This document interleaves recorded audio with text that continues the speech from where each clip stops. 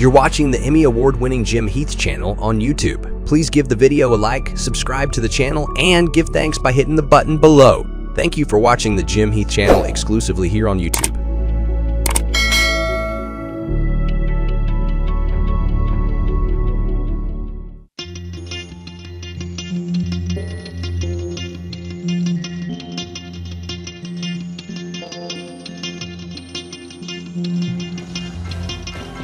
Vice President Al Gore was the Democratic candidate for president in that October of 2000.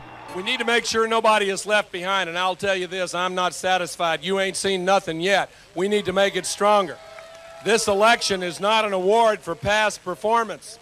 I'm not asking for your votes on the basis of the economy we have.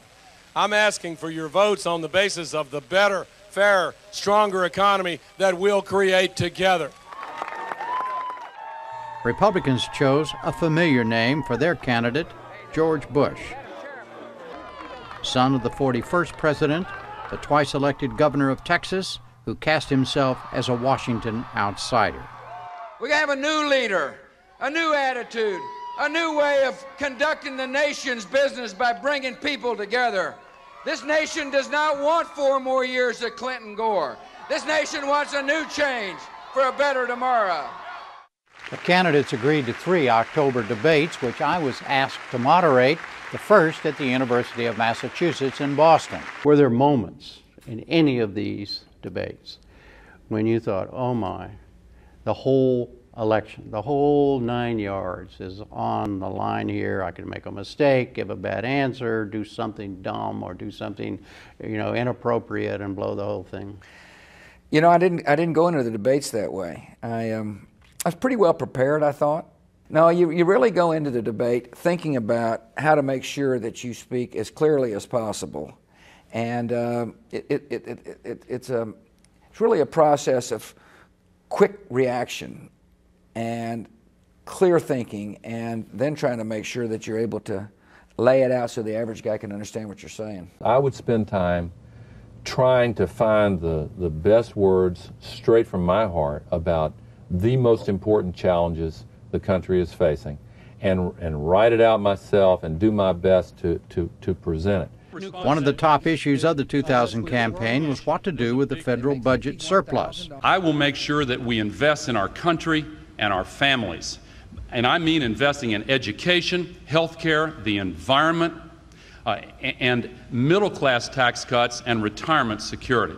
Governor Bush, one minute rebuttal. Well, we do come from different places. I come from West Texas. I've been a governor. A governor is the chief executive officer and learns how to set agendas. I want to take one half of the surplus and dedicate it to Social Security, one quarter of the surplus for important projects, and I want to send one quarter of the surplus back to the people who pay the bills. I agree that the surplus is the American people's money. It's your money. That's why I don't think we should give nearly half of it to the wealthiest 1%, because the other 99% have had an awful lot to do with building this surplus and our prosperity. Governor, one minute. Man's practicing fuzzy math again. That term, fuzzy math, became one of George Bush's favorite lines of the debate. Zingers, it, it, it, I think when, when um, you know, Ronald Reagan in 1980 came up with some zingers, and that became, you know, the, the measure of success to a certain extent. I'm beginning to think not only did he invent the internet, but he invented the calculator. It's fuzzy math. I can't let the man continue with fuzzy math. Unless there is the zinger, or the kind of the cute line, or the whatever, the, the quotable moment, there's no victor, in a sense. In fact, Vice President Gore became increasingly animated in response. There is a problem. I want to say something, Jim. Wait a minute. Okay. This man's been disparaging my plan with all this Washington fuzzy math. This is a man whose plan excludes 50 million Americans. Not so. And a few times Gore could be heard sighing off camera. I, I just told you the criterion in which I'll appoint judges. I've had a record of appointing judges in the state of Texas. That's what a governor gets to do. I thought you know, if you take away the so-called reaction shots where they caught me sighing at some yeah, of his questions, yeah. I thought that I, I, thought the debate went extremely well. I think we lost the spin afterwards. I think we, I think that, uh, and and and in fact, the uh, public opinion surveys showed that people thought I won that debate. But then the news coverage of the reaction and all that, the sighing, um, that overtook the the uh, the the actual reality of the of the debate and the substance of the debate. And so the only thing I can say about that is that was the sign and all that. Explain that. I didn't have any idea it was going on. I really didn't. I was so focused. Uh, when it was over, somebody, I can't remember who it was, Karen or Karl Rove, somebody said, You're not going to believe that Al, Al Gore's facial expressions really cost him the debate, they thought. During those 2000 debates, foreign policy seemed a distant second to domestic concerns. In fact, I did not ask my first foreign policy question until almost halfway through the first one. Vice President Gore, President Milosevic of Yugoslavia refuses to accept the election results mm. and leave office. What action, if any, should the United States take to get him out of there? Well, Milosevic has been indicted as a war criminal, and he should be held accountable for his actions. Now, uh, we have to take measured steps because the sentiment within Serbia, even if they don't like Milosevic, they still have some feelings lingering from uh, the NATO action there. So we have to be uh, intelligent in the way we go about it. Was this the kind of thing, to be specific, that you as president would consider the use of U.S. military force to get him gone? In this particular situation, no. And George Bush agreed. New question. How would you go about as president deciding when it was in the national interest to use U.S. force, generally? Well, if it's in our vital national interests, and that means whether or not our territory, our, our, our, our territory is threatened, our people could be harmed, whether or not our alliances, uh, our uh, defense alliances are threatened, whether or not our friends in the Middle East are threatened, secondly, whether or not the mission was clear, and finally, whether or not there was an exit strategy. Uh, I would take the use of force very seriously.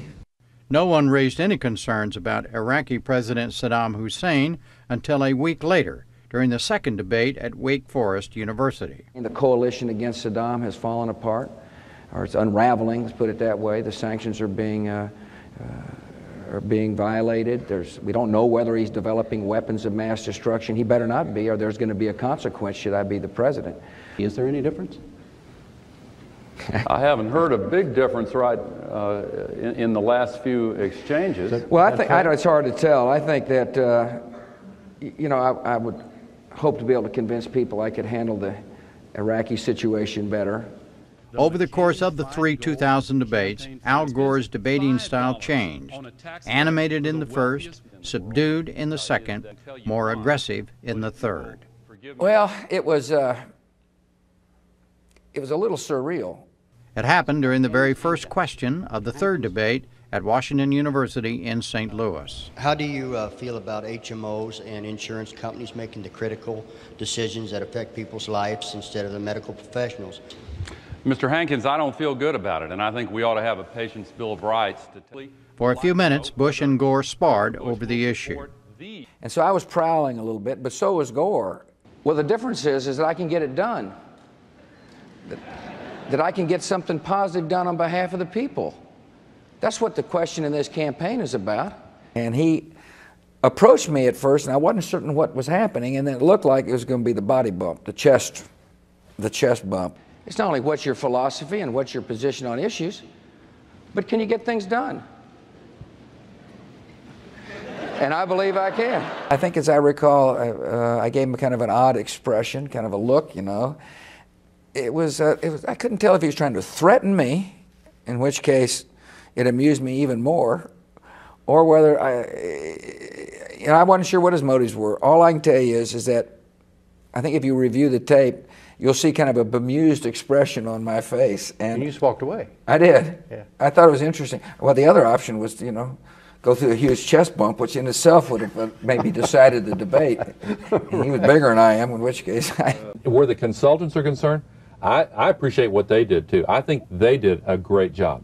I think mm-hmm. there were times when there were factors that they couldn't take into account because they were just inside me where I should have trusted my own judgment more and not uh, and and not uh, gone with the you know the all the strategy and stuff like that. Then why did you do it? I mean, you've been around. I was trying to win, trying Okay. to win the race.